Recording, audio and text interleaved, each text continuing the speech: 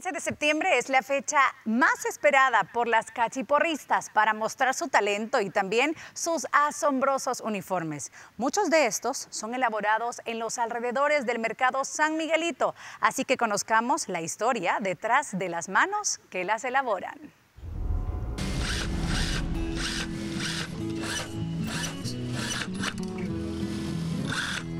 La máquina de coser se ha convertido en la mejor amiga de Doña María, una mujer apasionada por la costura y que previo al 15 de septiembre se encarga de elaborar los vestidos que engalanan a las cachiporristas. Trabajo que pacientemente realiza en uno de los bazares ubicado en los alrededores del mercado San Miguelito. Tenía yo 22 años cuando empecé a trabajar con la señora. Pues fíjese que a mí me gusta todo el trabajo de la costura. Eh, como no se solo se trabaja solo en un tono va, o diferentes hechuras, este, me gusta. lugar hemos empezado a elaborar los vestidos de, para el 15 de septiembre desde como el 15 de agosto. Estamos trabajando un, de un kinder, bajo son 31 vestidos.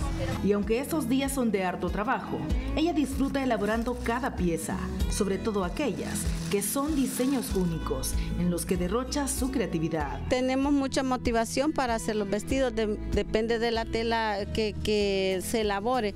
Hay veces no hay la, la tela adecuada para el diseño, pero siempre se mandamos a sublimar.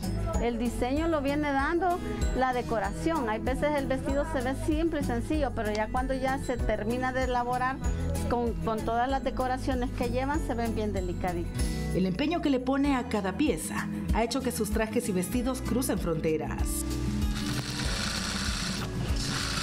desde en julio, comenzamos ya preparando todo lo que es lo del 15 de septiembre. Eh, elaboramos mucho para, mucho para las escuelas y hacemos también para los institutos de Honduras también que nos piden. Aún los de Honduras son ya más especiales porque ellos llevan hasta una capa larga que les hacemos y tratamos la manera de nosotros de mejorar también el, de lo que nos han pedido. Falta poco para ese gran día y muchos andan ya en la búsqueda de diferentes accesorios alusivos a la festividad, como kepis, batutas, así como los trajes de banda. Entonces yo buscaba el tutú. Eh, mi nietecita va a salir el 14 de septiembre como cachiporrista. Y me vine a este lugar porque veo bastante belleza. Estoy viendo esos vestiditos este, de chifón, vestiditos bien hermosos para niñas. Elaborar esos trajes es todo un arte que requiere amor, paciencia y dedicación, algo que tienen de sobra quienes año con año se dan la misión de crearlos. Camarógrafo Marlon Méndez, Fabiola Hernández Noticias, Cuatro Visión.